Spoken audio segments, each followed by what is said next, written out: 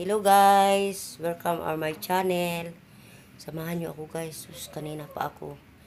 Alas 11 ng umaga. Hindi pa ako tapos. Nagkuskus ako ng aking mga lagayan ng mga damit, mga Durabox.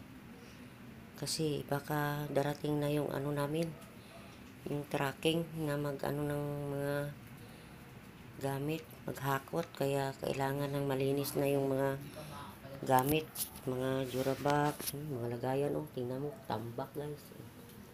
Yan, sobrang dami, oh. Yan, yung mga lagayan ko, lalaki. Yan, nakita niyo yan guys, oh. Ang hirap kasi punasan eh. Kaya ang ginawa ko, sinabunan ko sa ano, binanuhan ko lang sa gripo. Yung ano, sinabunan ko. Yan. Mamaya pa siguro ako nito mag baka mamaya pa ako magdamag ako nito sa kaka ano sa kakaligpit kasi ang daming liligpitin no oh, kalat oh. dami. Yan. I-assemble ko pa yung mga maliliit ito. Yan ipang-assemble ko pa yan mamaya yung mga takip-takip. Yung mga ano yung mga yan ito, mga ito. Huh? Ah, malinis na. Malinis na yung lagayan. Hindi na ano, marumi. Kasi nakaano, talagang sinabunan ko. Sus, maghapon ako guys. Napagod na pagod ako. Bibili na naman ako mamaya nitong alaksan. Sobrang pagod ko maghapon. Hindi ako naka-whitey. Grabe ilalagay ko pa yung mga mga damit. Hmm. Hmm. Malinis na. Hmm. Talagang kinuskusan ko ng ano kinuskusan ko ng mga sabon. Yan. Laki. Ito yung lagayan namin ng mga ano. Eh, may gulong ito eh. Lagayan ng mga ito mga lagayan ng mga kortina ko. Yung mga damit na hindi na mga pinasusuot.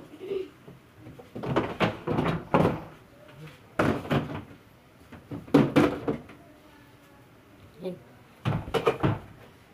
grabe ang dami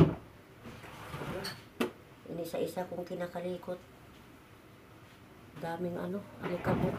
Mga ano hindi kasi kayang punasan eh. Kailangan sabunan.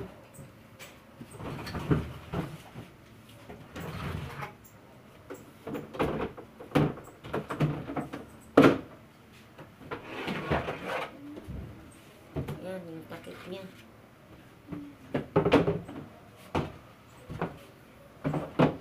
Lilipat na kasi kami ng bahay. Kaya kailangan ko nang mag magligpit. na malinis na.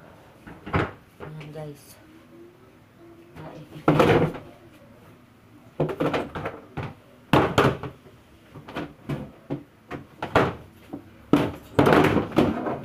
Hindi ko alam kung ako matatapos nito. Malinis na guys. oh. Ayan. Kasi dalawa to box ko. Yung isa.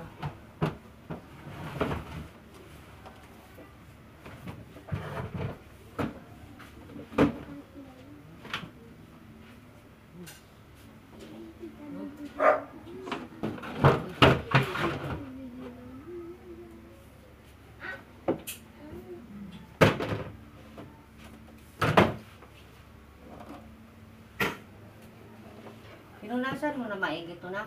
Apa? Sigurado ka, nilat ko sa...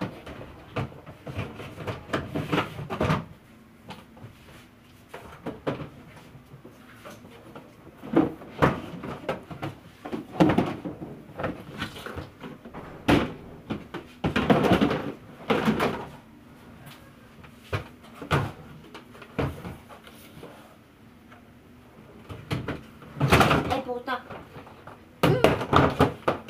Ayan. Hirap niya eh. Kasi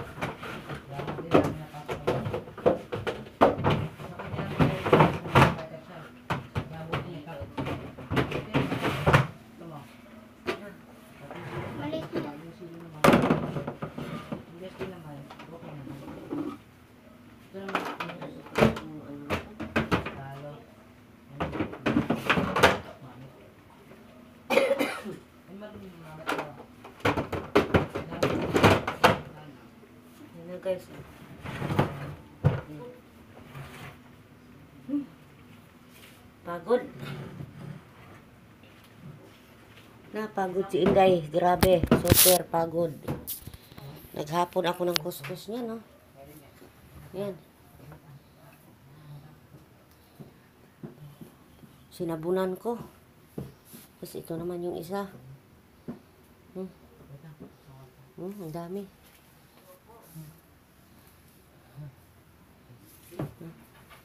Gulo-gulo. Hmm. Yan. Ito yung ano ko. Hmm. Ang linis na. Lagayan ng ano yan, mga kortina. Hmm. Yung mga damit na, na hindi na naisuot. Yung dyan ilagay.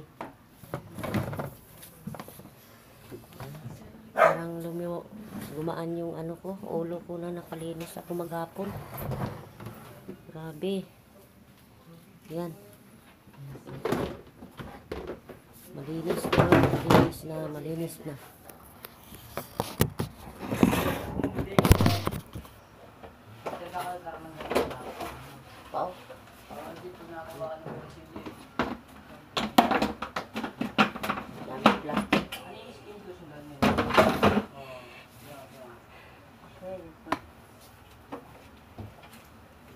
Guys. ah.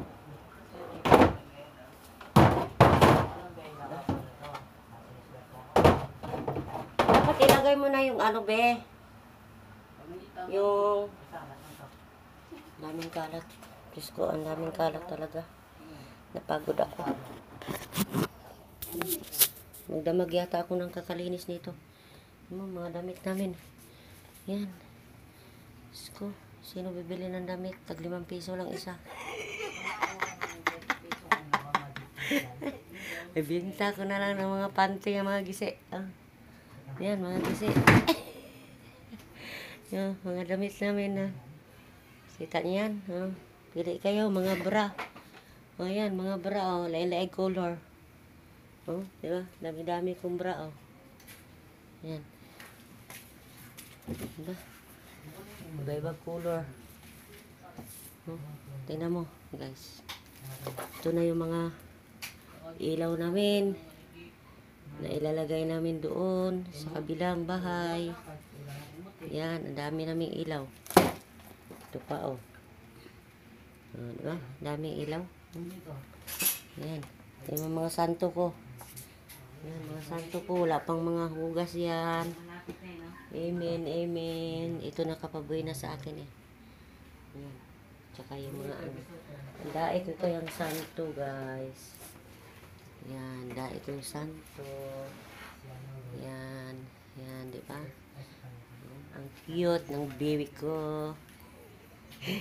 Ah, mamaya na kita punasan, ha? Ito swerte ko to eh. Dala-dala ko yan. Tsaka pag naglipat kami, ito yung kauna-unahan namin dinadala doon sa kabila. Yung mga santo ko kasi baka mabali. Baka mga mga ano sila. Baka mga basag. Kaya yan. Yung mga santo ko ang cute. Oh. Oh, di ba? Ang cute nila. Oh, may mga heart. Hindi pa napunasan. Dumi. Oh, di ba? Mga santo ko yan. Mga basag-basag na pero ito pa oh. oh di ba? Ang galinda. Ganda ng mga santo ko. Oh. Mahilig ako sa santo. Tapos nilalagyan ko yan ng mga bulak-bulak sa gilid. Mayroon yan silang lagayan doon sa loob, sa ibabaw ng Durabox ko. Kaya yun, dami namin ilaw kasi. Yan. Magpiesta ako doon sa kabila ng bahay namin. Kaya, ang dami namin ilaw. oh. Dadalhin namin yan doon. Ang dae-daing kalat. Yan, yung aking helper na gwapa. Yan yung helper kong gwapa, oh. Tingnan mo, oh. Siya ang tagapunas. yan, tagapunas ko yan. Habang naghuhugas ako kanina, siya ang naghuhugas. Yung dalawa naman, walang ginawa, kundi magsigilag computer. Ah, ano, tingnan nyo guys. Oh, anda ay, oh, kalat. Ayan ang malita. Oh, ano mo, nakaready na yung malita. Tingnan nyo guys, ang damit, sobrang kalat. Go, go, go. Yan. Kwarto ng mga bata yan. Ayun, ang dalawa. Nagtago sa gilid. Di ba? Ito yung kwarto nila mga bata. Yan mo guys, oh. Yan yung kwarto. Yan. Yan. Yung kwarto nila. Kalat kasi nagliligpit na ako ng mga damit. Yan oh. Sobrang dami. Bargain. Diba? Bag- bargain ang damit. Kalat, ayun na ang malita oh. Kaya magdamag ako ng ligpit nito mamaya. Yan, nakaready na yung malita. Lilipat na kami, baka itong linggo na to.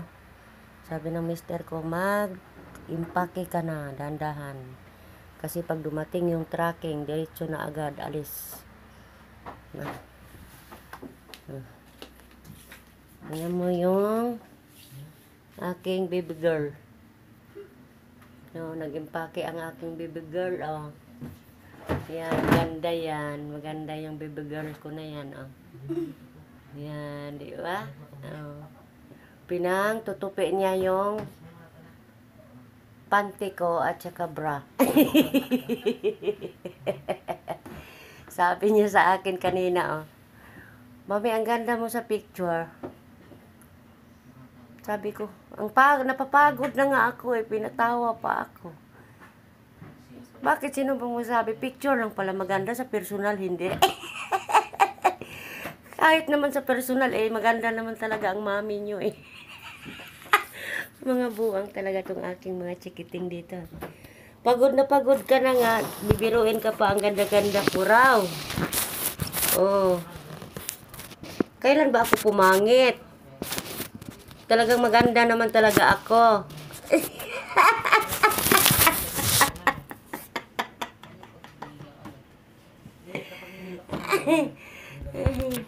Di ba? Maganda naman talaga ang mami niyo. Kahit hindi kahit hindi ano kahit hindi sa picture.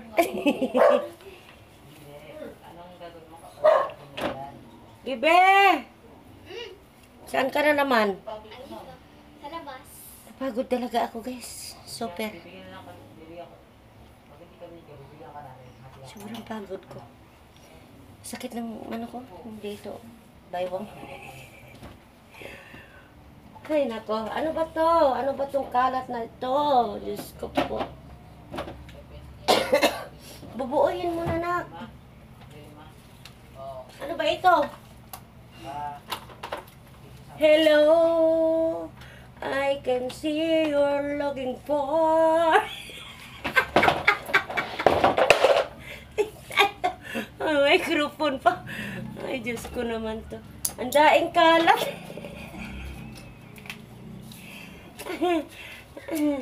Magkanta-kanta na lang ako sa pagod. Sobrang pagod.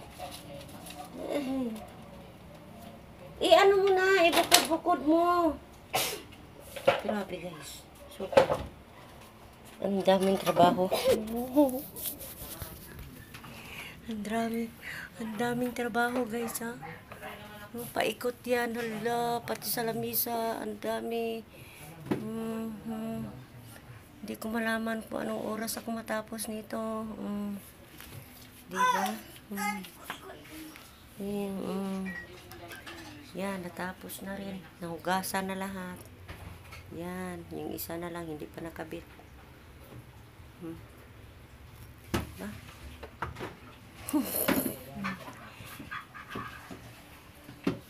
Hirap talaga ang buhay. Mahirap maglipat-lipat ng bahay.